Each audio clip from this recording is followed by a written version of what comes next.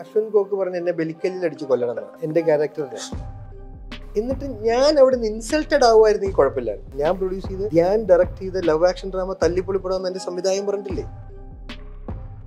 ഞാൻ കാണാം അമ്മയുടെ പ്രസിഡന്റ് ആയിട്ട് അപ്പൊ ഞാൻ ഈ പ്രഷർ പ്രഷർ എന്നുള്ള വാക്കിപ്പോ എനിക്ക് ഉപയോഗിക്കാൻ പേടിയാണ് ട്രോൾ Troll വരും. എഡിറ്റിംഗ് കാണണമെന്നൊക്കെ പറയുന്ന ഒരു ഞാൻ കാണാറുണ്ട്. ഞാൻ ഇടപെടാറുണ്ട് എഡിറ്റിൽ വേർതിരിവല്ല അഭിപ്രായത്തിൽ പറയുമ്പോൾ ന്യൂജൻ എന്തോ തെറ്റ് ചെയ്യുന്ന ഒരു ഫീൽ കാണാം. വേണമെന്ന് പറയുന്നതിൽ നമ്മൾ സന്തോഷിക്കുന്നുണ്ടല്ലോ. കൈയടിക്കുന്നതിൽ നമ്മൾ ഹാപ്പി അപ്പൊ പിന്നെ തെറി പറഞ്ഞാലും സന്തോഷിക്കണം സാധാരണ ഞാൻ ചെറ്റയാണ് ഒരിക്കലും പ്രേക്ഷകരെ വെറുപ്പിക്കരുത്. അല്ല അത് കൃത്യമായി അത് എന്റെ റിക്വസ്റ്റ് നമസ്കാരം. ഇന്ന് രണ്ട് അതിഥികളാണ്. പുത്തൻ സിനിമയുടെ വിശേഷം പങ്കുവയ്ക്കാനല്ല. അതിനും അപ്പുറത്തേക്ക് ഒരു വെബ് സീരീസുമായി ബന്ധപ്പെട്ടാണ് ഇന്ന് രണ്ട് അതിഥികളുണ്ട്. രണ്ടുപേർക്കും സ്വാഗതം. ഞാൻ എപ്പോഴും സിനിമാ വിശേഷങ്ങൾ പങ്കുവയ്ക്കാൻ ആളുകളായിട്ടിരിക്കുന്നത് ഇതൊരു വേറെ ഒരു യാത്രയിലാണ് ഞാൻ നിൽക്കുന്നത്. അജു എങ്ങനെയുണ്ട്? സിനിമയിലും നല്ലതാണോ? രണ്ടും നല്ലതാണ്. അഭിനയമാണ് രണ്ടും. നമ്മുടെ ജോലി അതേ ഉള്ളൂ. അതെവിടെ ആട്ടമാടുക അവിടെ പോയി ആടുക. ആടുക അല്ലേ? എനിക്ക് തോന്നുന്നു കേരള ക്രൈം ഫയൽ നമ്മൾ ഈ ക്രൈം സ്റ്റോറികൾ ഒത്തിരി സിനിമയിലാണെങ്കിലും കണ്ടു അല്ലേ? ഒത്തിരി സ്റ്റോറി കണ്ടിട്ട് എനിക്ക് തോന്നുന്നു ഇതൊരു ഒരു കൊലപാതകവുമായി ബന്ധപ്പെട്ട അന്വേഷണം നടത്തുന്ന പോലീസുകാരുടെ ഒരു സബ്ജക്റ്റ് പോലെയാണ് എനിക്ക് അതൊരു ഫീഡ്ബാക്ക് കിട്ടിയിരിക്കുന്നത്. ഒരു അഞ്ചാറ് പോലീസുകാരുടെ ഒരു യാത്ര അല്ലേ? അത്ര ഒരു യാത്രയാണ്. താങ്കൾ നല്ല രണ്ട് സിനിമകളാണ് സൂപ്പർ സിനിമകൾ തന്ന ഒരു ഡയറക്ടറാണ് ഇതിലേക്ക് മാറുമ്പോൾ എങ്ങനെ ഉണ്ടായിരുന്നു എക്സ്പീരിയൻസ് ഒരു വെബ് സീരീസ് ചെയ്യുമ്പോൾ സിനിമ ചെയ്യുമ്പോഴുള്ള ഒരു വ്യത്യാസം എന്താണ്? ഞാൻ പറഞ്ഞ കഥകൾ അങ്ങനെ തന്നെയല്ലേ പോകുന്നത്? ഒന്ന് ഇത് തന്നെ. വെബ് സീരീസ് ആകുമ്പോൾ നമുക്ക് ത്രില്ലർ ജോണറൊക്കെ ചെയ്യാനുള്ള ഒരു ഫ്രീഡവും കാര്യങ്ങളും കുറച്ച് കൂടുതലാണ്. ഇനി പറഞ്ഞാൽ ഞാൻ എന്റെ ജോണർ ഷിഫ്റ്റും ഉണ്ട്. അപ്പോൾ കുറച്ച് നമുക്ക് എക്സ്പെരിമെന്റ് ചെയ്യാം. പിന്നെ ഈ പറഞ്ഞ പോലെ കഥ ഓഫ് കോഴ്സ് ഒരു ക്രൈമിന് വേണ്ടി മീൻ സോൾവ് ചെയ്യാൻ നടക്കുന്ന ടീമിന്റെ കഥയാണ്. കൂടാതെ അവരുടെ ഒരു പോലീസ് സ്റ്റോറിയും കൂടെ ഉണ്ട്. പോലീസ് സ്റ്റോറി എന്ന് വെച്ചാൽ അവരുടെ ഒരു പേഴ്സണൽ ലൈഫ് കൂടെ ബാലൻസ് ചെയ്യുന്നുണ്ട്. പ്രോപ്പർ ത്രില്ലറിന്റെ കൂടെ തന്നെ ആ ത്രില്ലറിനെ ബാലൻസ് ചെയ്തുകൊണ്ട് തന്നെ ഒരു ഫാമിലി ലൈഫും ഉണ്ട്. അല്ലാതെ ത്രില്ലർ എലമെന്റ് മാത്രം ഉള്ള രീതിയിലല്ല. അങ്ങനത്തെ ഒരു ചേഞ്ച് ഉണ്ട്. പിന്നെ നമ്മുടെ കാസ്റ്റിംഗ് ആണെങ്കിലും ഈ പറഞ്ഞ പോലെ ഇച്ചിരി ഡിഫറെന്റ് ആയിട്ടുള്ള കാസ്റ്റിംഗ് ആണ്. അജു ചേട്ടന് ലാൽ സാറ് പിന്നെ ഷിൻ സേട്ടൻ നവാസ് വള്ളിക്കുന്ന് സഞ്ജു. അപ്പോൾ ഇങ്ങനത്തെ ഒരു ടീം അഞ്ച് പേരുടെ ഒരു സി എയും എസ് ഐയും സാധാരണ ഒരു സി എ എസ് ഐയും മൂന്ന് കോൺസ്റ്റബിളും കൂടെ ഒരു കേസ് വരുന്നത് സോൾവ് ചെയ്യാൻ വേണ്ടി ഇറങ്ങുന്നു. പിന്നെ ഈ കേസ് ഇവരുടെ ലൈഫിലൊരു പാർട്ടാവുകയാണ് ഇത് അതിന്റെ സോൾവ് ചെയ്യാനുള്ള ഒരു വാശി വരുന്നു. ഇങ്ങനൊരു ഗ്രാഫും ഉണ്ട്. പാരലി ഈ കേസ് കാരണം ഇവരുടെ ഫാമിലിയിൽ ഉണ്ടാകുന്ന കുറച്ച് കാര്യങ്ങളുമുണ്ട് ഇങ്ങനെയാണ് ഇതിന്റെ ഒരു പോക്ക്. ഈ പറഞ്ഞ പോലെ സിനിമകൾ ചെയ്ത താങ്കൾ ഇതിലേക്ക് വന്നപ്പോൾ ഞാൻ അതാണ് അതും കൂടെ എടുത്തു വയ്ക്കുക. സിനിമ നമ്മൾ ജൂൺ പോലെയുള്ള സിനിമകൾ കാണുമ്പോൾ താങ്കളൊക്കെ നമുക്ക് ഭയങ്കര ഇഷ്ടമാണ്. അത്തരം ഒരു നല്ല സിനിമകളാണ് പ്രേക്ഷകരുടെ മുമ്പിലേക്ക് വെച്ചിരിക്കുന്നത്. അതിനൊരു സിനിമയുടെ സിനിമകൾ അത്രയും ആക്റ്റീവ് ആകാതെ നിൽക്കാനുള്ള കാരണം സിനിമകൾ ഞങ്ങൾക്ക് വേണം ഇനിയും വേണം താങ്കളുടെ സിനിമകൾ. ഞാൻ ഒരു പ്രേക്ഷകൻ നിലയാണ് പറയുന്നത്. വന്നല്ലേ അതായത് ആക്ടി അതായത് രണ്ടായിരത്തി പത്തൊമ്പതിലെ ജൂൺ ഇറങ്ങിയത്. അടുത്ത മൂവിയുടെ പ്രീ പ്രൊഡക്ഷൻ ഷൂട്ട് തുടങ്ങുന്ന ഒരാഴ്ച മുമ്പ് കോവിഡ് വന്നു. എന്നിട്ട് ലോക്ക്ഡൌണിലാണ് ഞാൻ മധുരം ചെയ്തത്. അതെ, അതെ, മധുരം. മധുരം ടൂ തൗസൻഡ് ട്വന്റി ടൂൽ ഇറങ്ങി. അപ്പോൾ ഓരോ പ്രൊജക്ടിന് എടുക്കുന്ന ടൈം എന്ന് വെച്ചാൽ നമ്മളത് ബെറ്റർ ആകാൻ വേണ്ടി പ്രോപ്പർ കഥ ചൂസ് ചെയ്യുന്നു. പിന്നെ അതിന്റെ പ്രീ പ്രൊഡക്ഷൻ എഴുത്ത് ഇങ്ങനത്തെ രീതിയിലുള്ള പ്രശ്നം. ഉറപ്പായിട്ടും നമുക്കും ഇഷ്ടം പോലെ ചെയ്യണമെന്നുണ്ട്. പക്ഷെ ചെയ്തു വരുമ്പോൾ ഈ ടൈം ആവും. അല്ല നിങ്ങൾ നിങ്ങൾ ഇനി ചെയ്യേണ്ട സിനിമകളും അതിനപ്പുറത്തേക്ക് ഇരിക്കുന്ന സിനിമ വേണം ഞങ്ങൾ അങ്ങനെയാണ് പ്രേക്ഷകൻ എന്ന നിലയിൽ ഞാൻ ഉൾപ്പെടെ ഉള്ളവർ ആഗ്രഹിക്കുന്നത്. അത് തന്നെയാണ്. അതിലേക്ക് തന്നെയാണ്. അപ്പം മധുരം കഴിഞ്ഞ് അടുത്ത ചെയ്യുമ്പം ഓക്കെ എന്നാൽ ജോണർ ഒന്ന് മാറ്റാം. ഈ ത്രെഡ് കേൾക്കുമ്പോൾ എക്സൈറ്റഡ് ആവുന്നു.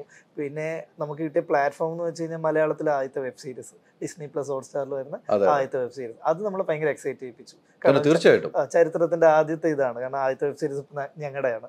അപ്പം ആ ഒരു സന്തോഷമുണ്ട് ആ എക്സൈറ്റ്മെന്റും ഉണ്ട്. അപ്പൊ അതൊരു എനിക്കൊരു ഇത് കിട്ടി. പിന്നെ അതിനെ എത്ര ബെറ്റർ ആക്കാന്നുള്ളതാണ് നമ്മുടെ ജോലി പിന്നെ താങ്കൾ വെച്ചാൽ പൊന്നല്ലേ? പിന്നെ എന്താ കുഴപ്പമില്ല അജു ഏഹ് താങ്കൾ കൈ വെച്ചേക്കണേ നമ്മൾ പ്രേക്ഷകർ സ്വീകരിച്ച് ഇതും പ്രേക്ഷകർ സ്വീകരിക്കും. പിന്നെ ഈ മലയാളത്തിന്റെ ഒരു അഭിമാന മുഹൂർത്തങ്ങൾ ആദ്യത്തെ വെബ് സീരീസ് എന്ന് പറയുമ്പോൾ ഒരു അഭിമാനമാണല്ലോ. ഇന്ത്യയിലൊക്കെ ഇങ്ങനെ നടക്കും. നമ്മുടെ ഇവിടെ ഉള്ള എത്ര ആർട്ടിസ്റ്റുകൾ പോയി ഇന്ത്യയിലും ഒക്കെ ചെയ്യുന്നു. പക്ഷെ മലയാളത്തിലേക്ക് വന്നപ്പം അജു തന്നെ ഇതിലേക്ക് എത്തുന്നു. അതിലേട്ടാ അതിൽ ഇവിടെ ഒരുപാട് പേർക്ക് സിനിമ എപ്പോഴും നമുക്ക് എന്താ പറയാ ആക്സസിബിൾ അല്ല. അപ്പം വെബ് സീരീസിൽ നമുക്ക് ഒരുപാട് നടീനടന്മാരെ ഇൻക്ലൂഡ് ചെയ്യാൻ പറ്റും. എന്ന് ഞാൻ മനസ്സിലായി. സിനിമയ്ക്ക് ഇപ്പോഴും ഒരു സമയപരിധിയുണ്ട്. അപ്പൊ ഇത് ഇതാണ് പ്രൈമറിലി എനിക്ക് തോന്നിയൊരു വ്യത്യാസം. പിന്നെ സിനിമ തിയേറ്ററിലോട്ടാണ് വെബ് സീരീസ് ഒ ടി ടിയിൽ മാത്രമായിരിക്കും. പക്ഷെ അവസരം ഒരുപാട് കൂടും.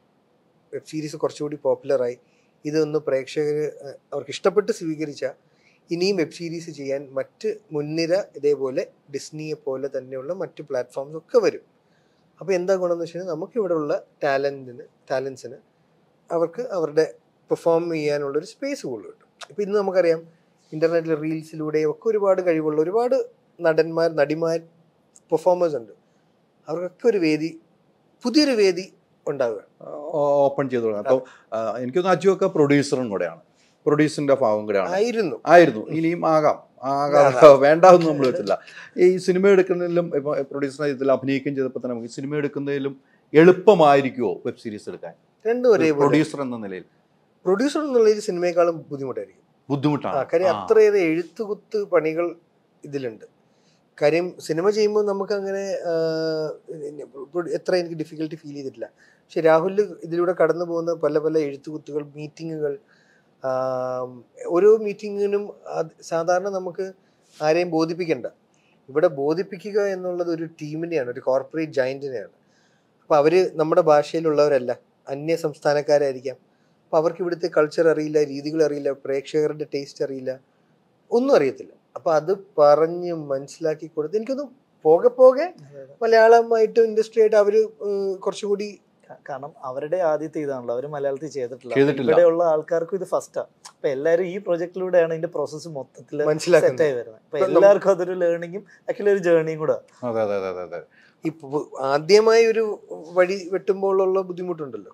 എല്ലാ എല്ലാ മേഖലയിലും. എല്ലാ മേഖലയിലും ഉണ്ടല്ലോ. ഈ പറഞ്ഞ പോലെ ഇതിന്റെ ഒരു പ്രൊഡക്ഷൻ കോസ്റ്റ് ഒക്കെ വരുമ്പോൾ നമുക്ക് സിനിമയായി ബന്ധപ്പെട്ട് താരതമ്യം സിനിമയായിട്ട് ബന്ധപ്പെട്ടുള്ള പ്രൊഡക്ഷൻ കോസ്റ്റുമായിട്ട് ബന്ധപ്പെട്ട് ഇതിലേക്ക് വരുമ്പോൾ എങ്ങനെയാണ്? കൂടുതലാണോ ചിലവ് വരിക? കുറവാണോ വരിക? ഉറപ്പായിട്ടും. നമ്മുടെ മൂവി പോലെ തന്നെയാണ്. നമ്മുടെ അമ്പത്തിനാല് ദിവസം ഷൂട്ട് ചെയ്തതാണ്. അത്യാവശ്യം ഒരു നോർമൽ മൂവിന്റെ ഒക്കെ ബഡ്ജറ്റിനേക്കാളും ഇരട്ടി തന്നെയാണ് ഇതിനും വരുന്നത്. നമ്മൾ കാരണം നമ്മൾ ചുമ്മാ ഒരു വെബ് സീരീസ് കിട്ടിയെന്ന് തന്നെ ചെയ്യുമല്ല ആ ഹിന്ദിയിലും ഒക്കെ കാണുന്നതിന്റെ ക്വാളിറ്റി നമുക്ക് മാച്ച് ചെയ്യാം. ഇത് മറ്റ് ഭാഷകളിലോട്ട് ഡബ് ഡബ് ഏഴ് ഭാഷയിൽ ഡബ് ഭാഷയിൽ ഡബ് ചെയ്യുന്നുണ്ട്. നമ്മളല്ല അവർ അപ്പം അങ്ങനെ അവർ ഉണ്ട- കാണുമ്പോ നമ്മൾ കേരളത്തിൽ ഇതാണോ ഇവന്റെ ക്വാളിറ്റി അതെ. വിഷ്വലി കഥ പോട്ടെ നമുക്ക് രണ്ടാമതാണ്. പ്രേക്ഷകർ കണ്ടിട്ട് പറയട്ടെ. പക്ഷേ എടുത്തേക്കുന്ന സ്റ്റൈൽ അല്ലെങ്കിൽ ആ വിഷ്വൽ ക്വാളിറ്റി കോംപ്രമൈസ് ചെയ്യാൻ ആക്ച്വലി പറ്റും നമ്മൾ മലയാളികൾ തന്നെ കുറെ വെബ് സീരീസ് കണ്ടിട്ടുണ്ട്. അപ്പൊ നമ്മളിത് കാണുമ്പോൾ അതെ, അതെ. ക്വാളിറ്റി മാച്ച് ചെയ്യണം. അപ്പൊ അതിന് നല്ലൊരു പ്രൊഡക്ഷൻ വാല്യൂ വേണം. അല്ലാതെ ചുമ്മാ നമ്മൾ ഇറങ്ങിയിട്ട് കാര്യമില്ല. പ്രൊഡക്ഷൻ സ്കെയിൽ നമ്മുടെ ആദ്യത്തെ ഒരു ഇത് ഇതായിരുന്നു. കാരണം ഫസ്റ്റ് വെബ് സീരീസ് കിട്ടുമ്പോൾ ഇതെല്ലാവരും ഇങ്ങനെ കാണാൻ നോക്കും. അപ്പം ആ പ്രൊഡക്ഷൻ വാല്യൂ വലുതാവണം. അപ്പോൾ ആക്ച്വലി ഒരു രണ്ട് മൂവി എടുക്കുന്നതിന്റെ കോസ്റ്റ് ഒക്കെ ആക്ച്വലി ഉണ്ട്. വരുന്നുണ്ട് അല്ലേ?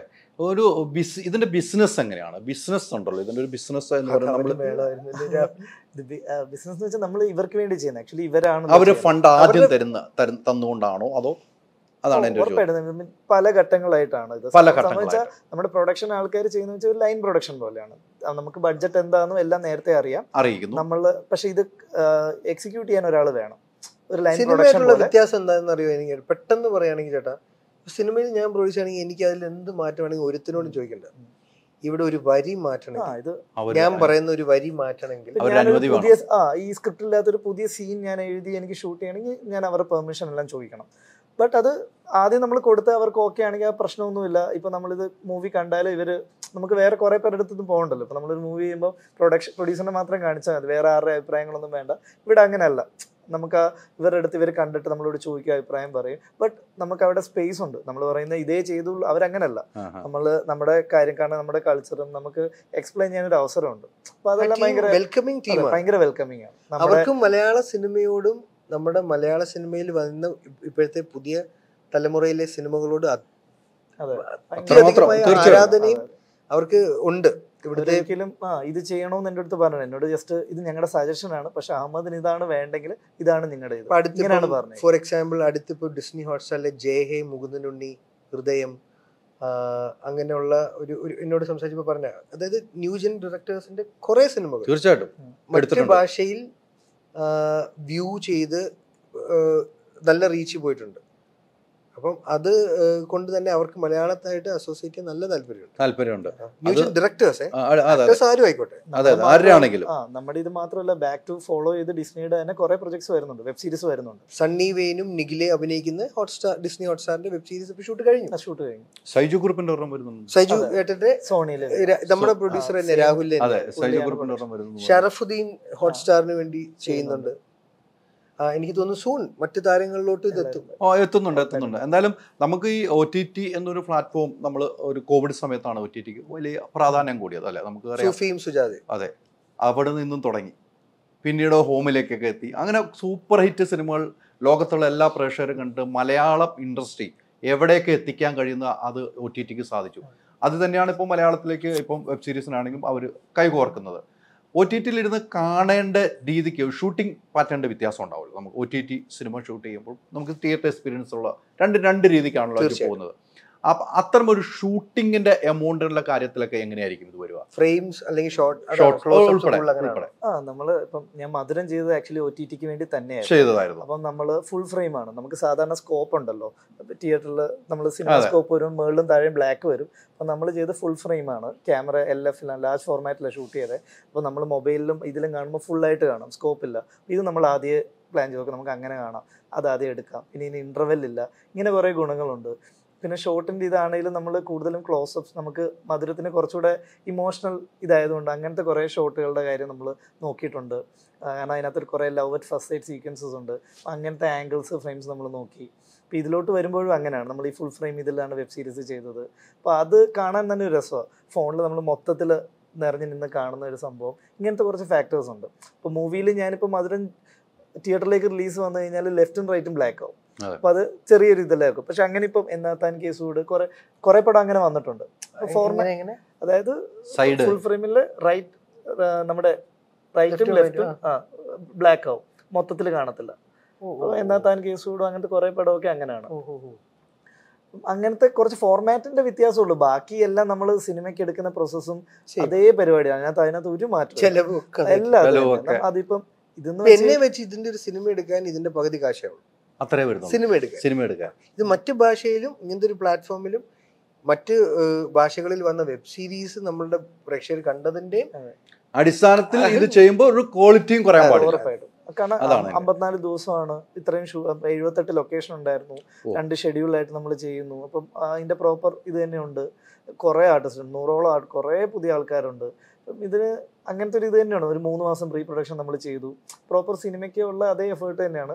പിന്നെ നമ്മളെല്ലാവരും സ്ക്രിപ്റ്റിംഗ് സ്റ്റേജിലൊക്കെ ഭയങ്കര എക്സൈറ്റഡ് ആണ് നമ്മളെല്ലാം വെബ് സീരീസ് കണ്ടിട്ട് ഒരു എപ്പിസോഡ് തീരുമ്പോൾ അയ്യോ ഈ പഞ്ച് കിട്ടി. അപ്പോൾ അടുത്ത എപ്പിസോഡ് കാണാൻ പോകണം ഇതേ ത്രില്ലിങ്ങിലാണ് നമ്മളും വർക്ക് ചെയ്യുന്നത്. എഴുത്ത് എഴുതുമ്പോൾ നമ്മളിപ്പോൾ മലയാളത്തിലാണല്ലോ ചെയ്യുന്നത്. അപ്പോൾ നമ്മൾ സ്ക്രിപ്റ്റൊക്കെ മലയാളത്തിലാണ്. അന്യ അജുബൻ അന്യഭാഷയിലുള്ളവരാണ്.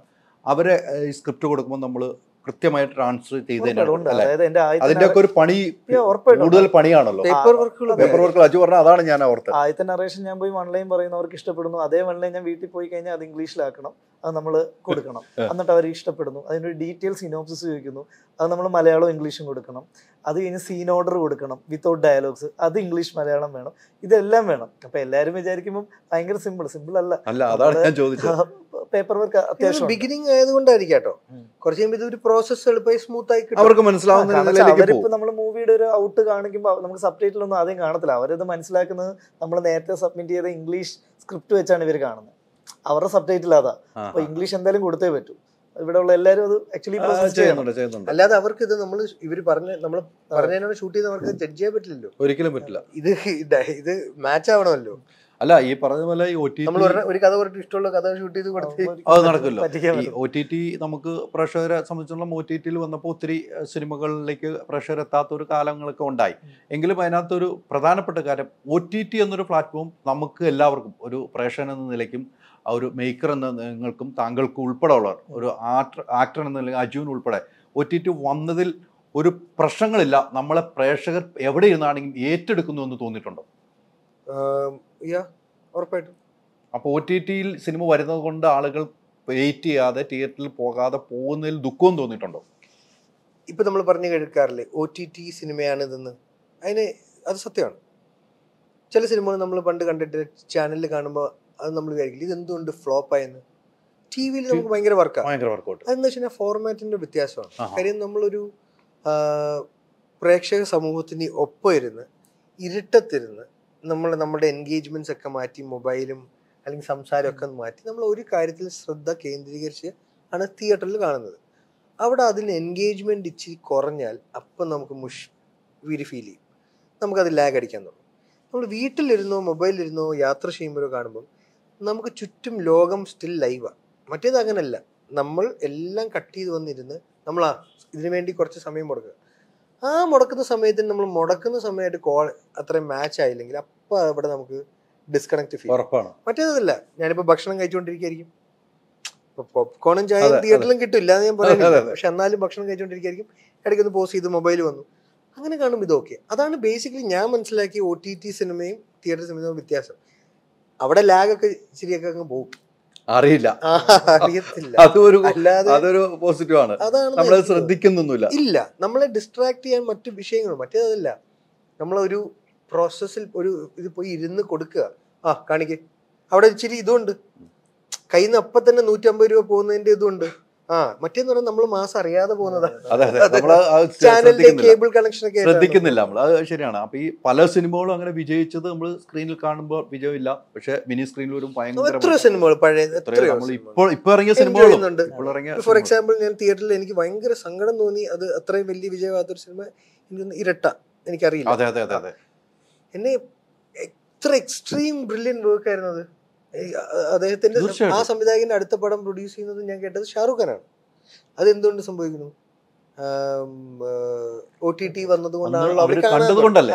അല്ല ഇവിടുത്തെ സ്ക്രീനിൽ മാത്രമല്ല. അതുകൊണ്ടാണ് ഷാറുഖ് ഖാനിലേക്ക് അദ്ദേഹത്തിന് തീർച്ചയായിട്ടും. അദ്ദേഹത്തിന് റീച്ച് ഒ ടി ടിയുടെ ഭയങ്കര തിയേറ്ററിനെക്കാളും ഭയങ്കര കൂടുതലാണ് തീർച്ചയായിട്ടും അതെ തീർച്ചയായിട്ടും അത്. എല്ലാം നമുക്ക് വേണം ചേട്ടാ.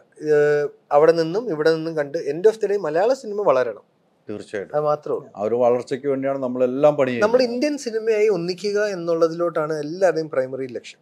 അതിലേക്ക് എത്തണം. അതിലോട്ട് എത്തി തുടങ്ങുവാണ്. അതിനുള്ള സ്റ്റാർട്ട് ഓൾറെഡി ഇപ്പൊ രാജേട്ടന്റെ നമുക്ക് പ്രൊജക്ട്സ് ലൈനപ്പ് കാണുമ്പോൾ നമുക്കറിയാം.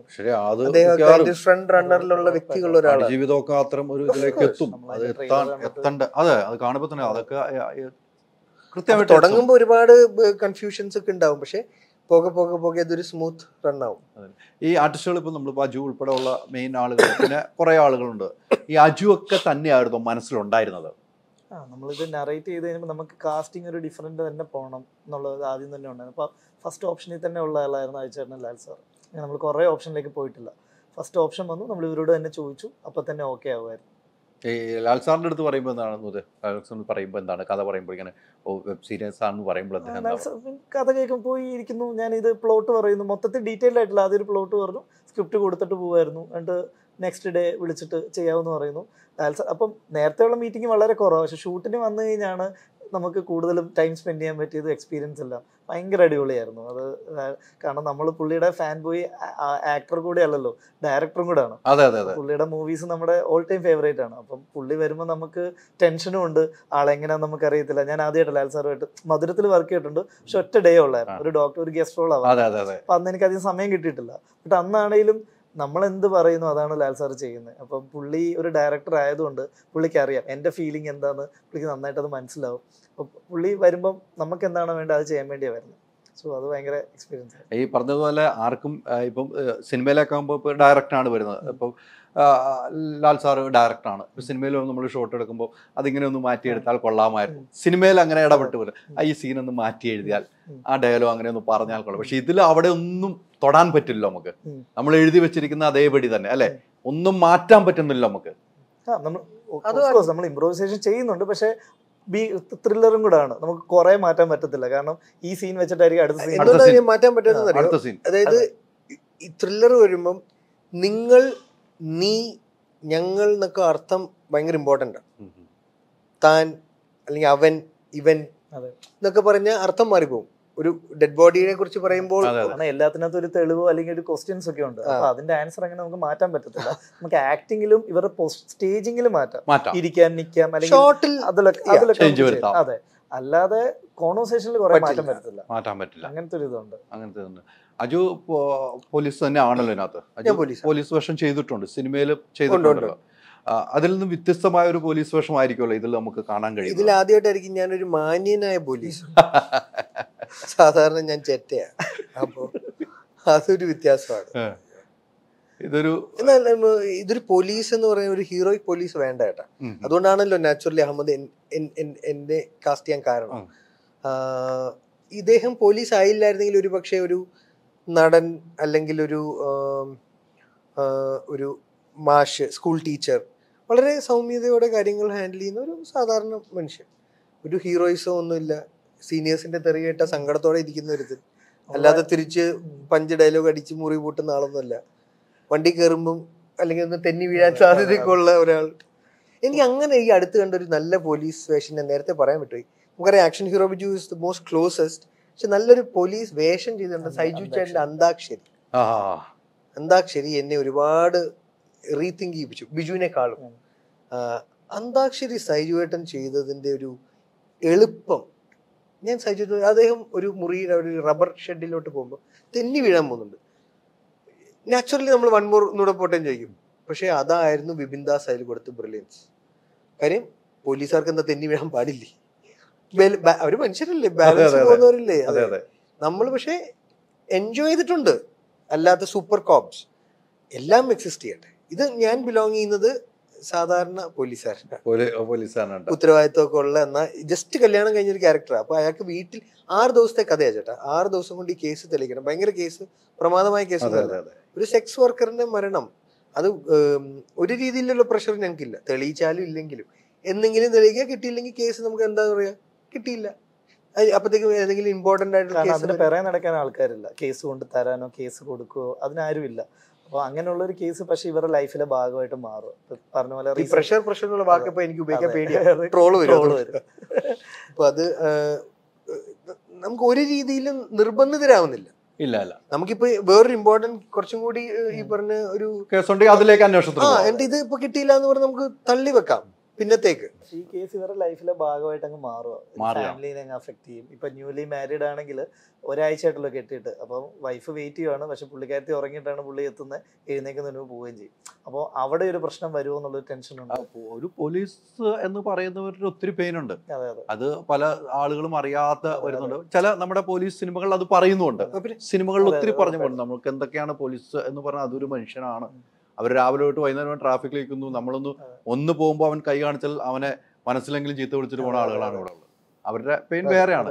അപ്പൊ അത്തരം ഒരു സംഭവങ്ങളൊക്കെ ഇതിൽ പറയുന്നു. ഈ പറഞ്ഞ ആറ് ദിവസം കൊണ്ട് അന്വേഷിച്ച് തെളിയിക്കേണ്ട ഒരു സിനിമയാണെന്ന് പറഞ്ഞു. നേരത്തെ പറഞ്ഞ പോലെ ഇതൊരു നടന്ന സംഭവമായിട്ട് വല്ല ഞാനൊരു ഞാനൊരു സെൻട്രൽ സ്റ്റേഷനിലെ ഇപ്പോഴത്തെ സി എ വിജയശങ്കർ സാറിന്റെ അടുത്ത് വേറൊരു കഥയ്ക്ക് വേണ്ടി പോയിരുന്നു. നമ്മൾ ഇവിടുത്തെ സെൻട്രൽ ആ സെൻട്രൽ സ്റ്റേഷൻ അപ്പോൾ പുള്ളി അന്വേഷിച്ച ഒരു കേസ് തന്നെയാണ്. അപ്പോൾ അത് കോമഡിക്ക് വേണ്ടി പോയത്. ആ ഞാൻ ആക്ച്വലി ഒരു വേറൊരു ഞാൻ നേരത്തെ ചേർന്ന ഒരു പടത്തിന്റെ ഒരു ത്രെഡ് അപ്പൊ എനിക്കൊരു ഇൻസിഡന്റ് വേണം. ഒരു കോമഡി ഇൻസിഡന്റ് വേണം. അപ്പൊ പുള്ളിയോട് ചോദിക്കുന്നു. അപ്പൊ പുള്ളി പറഞ്ഞിടാ ഞങ്ങൾ ഞങ്ങൾ ഇവിടെ കോമഡി ആയിട്ടൊന്നും ചെയ്യാറില്ല. അപ്പൊ ഞാൻ അങ്ങനെ എല്ലാ രണ്ടു മൂന്ന് ദിവസമായിട്ട് അടുപ്പിച്ച് പോകുന്നു. അപ്പൊ അങ്ങനെ പറഞ്ഞു ഞാനൊന്ന് ആലോചിച്ചു എന്റെ ധൈര്യം. അവിടുത്തെ ഇവിടുത്തെ എല്ലാ പ്രമാദമായ കേസും പുള്ളിയുടെ അടുത്ത് മൊബൈലൊക്കെ റെക്കോർഡ് ചെയ്തുകൊണ്ട് വെച്ചിട്ട് ഞാൻ ചോദിക്കുക സാർ ഒരു കോമഡി ഇൻസിഡന്റ് എനിക്ക് അത് തരുമോ?" കൊ- അപ്പൊ അത് പുള്ളി- വലിയ കോമഡി ആ, ടിക്കറ്റ് ചോദിക്കുന്നു. രണ്ടും മൂന്ന് ഞാനുണ്ട് ആഷിക്കുണ്ട് റൈറ്റർ ഞങ്ങൾ രണ്ടുപേരും. മൂന്നാമത്തെ ദിവസം ആയപ്പോൾ പുള്ളി പറഞ്ഞു ഞങ്ങൾ എല്ലാ ദിവസം ഇങ്ങനെ ആലോചിക്കും. പുള്ളി എന്നിട്ട് അന്വേഷിച്ച കേസുകളൊക്കെ ആലോചിക്കുന്നു. അത് അതിവിടെ കോമഡി ആയിട്ടൊന്നും ചെയ്യാറില്ല. ഞാൻ തെളിയിച്ച് ഒന്ന് രണ്ട് കേസ് ഉണ്ടെന്ന് പറഞ്ഞ് പുള്ളി ഒരു കേസ് പറഞ്ഞു. അപ്പൊ അതിന്റെ ഒരു ഐഡിയ നമ്മൾ എടുത്തിട്ടുണ്ട്. ബട്ട് റിയൽ ഇൻസിഡന്റുമായിട്ട് കുറെ മാറ്റമുണ്ട്. വെബ് സീരീസ് ആണ്. ആറ് എപ്പിസോഡ് ഉണ്ട്. എപ്പിസോഡ് പഞ്ചസ് ഉണ്ട്. അതിനുവേണ്ടി നമ്മൾ ഡ്രാമ കേട്ടിട്ടുണ്ട് ഇൻസ്പയർഡ് അതിൽ നിന്ന് ഇൻസ്പിറേഷൻ ആയത് ഫ്രം ട്രൂ സ്റ്റോറി അതെ അതെ. ആറ് എപ്പിസോഡ് എന്നുമ്പോൾ എത്ര മണിക്കൂർ വരും മൊത്തത്തിൽ? Twenty five to thirty minutes വരുന്ന ആറ് എപ്പിസോഡ് ആറ് ആറ് എപ്പിസോഡാണ് ഈ പറഞ്ഞതുപോലെ ഇത്തരം ഒരു കഥകൾ നമ്മളെ മലയാളത്തിലേക്ക് ആദ്യമായിട്ട് വരികയാണ്. ഒരു സിനിമകൾ വന്നിട്ടുണ്ടെങ്കിലും നമ്മൾ ഒ ടി ടിയിൽ കാണാൻ പോകുന്നു മൊബൈൽ കാണാൻ പോകുന്നു. അത് വലിയതായിട്ട് മലയാളത്തിൽ നമുക്ക് തന്നെ എന്ന് വെച്ചാൽ ഞാൻ ഉൾപ്പെടെ പെടുന്ന ആളുകൾക്ക് ഇഷ്ടപ്പെടുന്നു. നിങ്ങൾ തന്നെ അത് ചെയ്യുമ്പോൾ നിങ്ങൾക്ക് ഉണ്ടാകുന്ന ഒരു സന്തോഷം വലുതാണ്. ഇനി ആ പ്രേക്ഷകരാണ് തീരുമാനിക്കുന്നത്. ഇനിയുള്ള കാലങ്ങൾ പ്രേക്ഷകരാണ് തീരുമാനം ഇത്തരം സാധ്യതകൾ എത്രമാത്രം ഉണ്ടെന്ന് നമ്മൾ ഹിന്ദി ഉൾപ്പെടെ കണ്ടിട്ടും മലയാളത്തിൽ എത്രമാത്രം സാധ്യത ഉണ്ടെന്നുള്ളത് നമ്മളിപ്പോ ചെയ്യുന്ന സാധനം നന്നായിട്ട് വന്നാലേ ഇവർ നിക്കത്തുള്ളൂ. അല്ലെങ്കിൽ രണ്ടു ഇവർ തിരിച്ചു നമ്മൾ കൊടുക്കുന്ന ക്വാളിറ്റി പോലെ ഇരിക്കും എന്ന് എനിക്ക് നിങ്ങൾക്കാണ് ഉത്തരവാദിത്വം. അത്. വലിയൊരു ഭാരമാണ് എടുത്തു വെച്ചിരിക്കുന്നത് അല്ലേ? ആ എക്സൈറ്റ്മെന്റ് എന്ന് പറയുകയാണെങ്കിൽ ഫസ്റ്റ് വെബ് സീരീസ് എന്നൊക്കെ അത് പോസ്റ്ററിലും എല്ലാത്തിലും കാണാൻ എക്സൈറ്റ്മെന്റ് ഉണ്ട്. പക്ഷെ ആലോചിച്ച് നോക്കുമ്പം ഉത്തരവാദിത്വം കൂടെയാണ്. നമ്മൾ കമ്പൈൻഡ് എഫേർട്ട് ആയിട്ട് തന്നെ ഞാൻ കാണുന്നു. കാര്യം പ്രേക്ഷകരും നമ്മളോടൊപ്പം നിന്നാൽ. ഒരുപാട് ടാലൻസിന് ആദ്യം ചിലപ്പോൾ നന്നാവാൻ പാളാം എന്ത് സംഭവിക്കും? അതെ അതെ അതെ. പക്ഷെ ഇതിനെ ഒന്നും നിലനിർത്തി സ്റ്റെബിലൈസ് ചെയ്താൽ നമുക്ക് ഒരുപാട് കഴിവുള്ള ഒത്തിരി പേര് വരും. ഒത്തിരി ഡയറക്ടർമാർക്ക് ഒരു അവസരം പ്രേക്ഷകർ ഒന്ന് എല്ലാവരും ഒന്ന് സബ്സ്ക്രൈബ് ചെയ്ത് കണ്ട. അതെ. നല്ലതാണ്. നമ്മൾ രക്ഷപ്പെടുന്നതിനൊപ്പം തന്നെ നമ്മൾ രക്ഷപ്പെടുന്ന മറ്റുള്ളവർക്ക് ഒരു വഴി തുറന്നു കൊടുക്കും. നിലനിർത്തിയാൽ മറ്റു മേജർ പ്ലേയേഴ്സിനും ഇവിടെ വരാൻ തോന്നാം. അതെ അതെ അതെ. അടുത്ത ആളുകളും ഇവിടെ എത്തും. എന്തായാലും അങ്ങനെ ഉണ്ടാവും നമ്മുടെ നാട് ആണല്ലോ നമ്മുടെ പ്രൈം ഫോക്കസ് അതെ അതെ അതെ. തീർച്ചയായിട്ടും തീർച്ചയായിട്ടും. നമ്മുടെ ഭാഷ നമ്മുടെ നാട്. ഇത് മറ്റു ഭാഷയിൽ ഡബ് ചെയ്തതിന് അവിടെയും പോയി അവിടെയും സൂപ്പർ അപ്പം മലയാളത്തിൽ എടുത്തതിന്റെ ഒരു വാല്യൂ അവിടെയും മനസ്സിലാക്കുമ്പോൾ നമുക്ക് നല്ലൊരു ഓപ്പൺ തന്ന സാധനം മറ്റുള്ളവർക്ക് എത്തിക്കാൻ കഴിയും. അത് അമത് കഴിയും കേട്ടോ. നല്ല സിനിമകൾ തന്നെയല്ലേ? അതല്ല ഞാൻ ഇപ്പോഴും പറയുന്നത്. ആ ചിരിയിലെല്ലാം ഉണ്ട് നന്മ കൂടി പോയിട്ട് ഇച്ചിരി തിന്മ പിടിക്കാറിയത്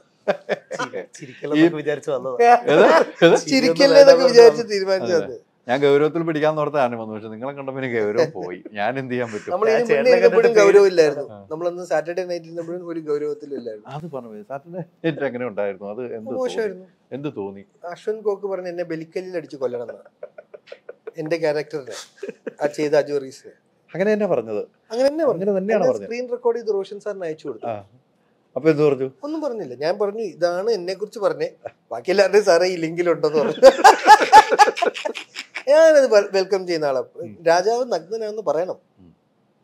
പ്രേക്ഷകർ പറയണം. വേണ്ടായിരുന്നു തോന്നിയോ പിന്നെ? ഇല്ല. ആ വേഷം എനിക്ക് ഇഷ്ടമായി സീനുകളുടെ പൊളിറ്റിക്കൽ കറക്റ്റ്നെസ്സിലൂടെ അത് മാറിപ്പോയതാണ് അത് മാറിപ്പോയി.